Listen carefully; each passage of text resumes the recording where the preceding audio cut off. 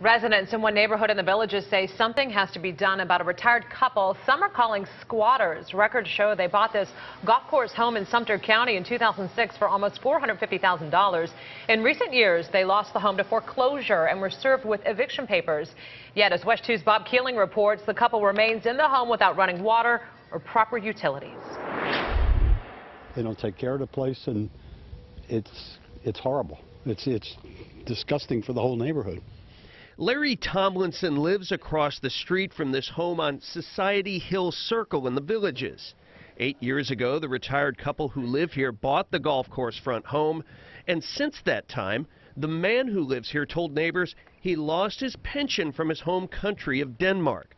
The home was foreclosed on, now it's government owned. They come over here and got water from us.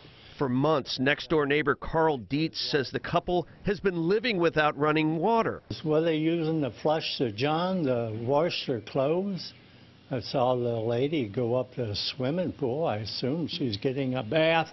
Carl and his wife Linda say the neighbors have helped the couple with food, money even. Meanwhile, bank judgments and liens have piled up for unpaid utilities and homeowners association fees.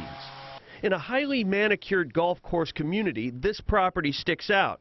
Some now call the couple squatters. The rest of the neighbors, we're all paying our amenities and paying our fees, and uh, they're not. One of the residents who lives in this house here in the villages says they're, quote, going through hell right now, she and her husband, and they have nowhere to go. She declined an on camera interview but acknowledged the home was foreclosed on.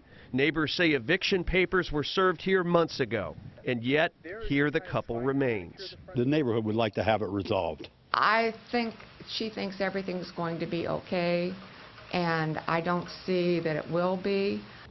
Reporting in the villages in Sumter County, Bob Kealing, WESH 2 News.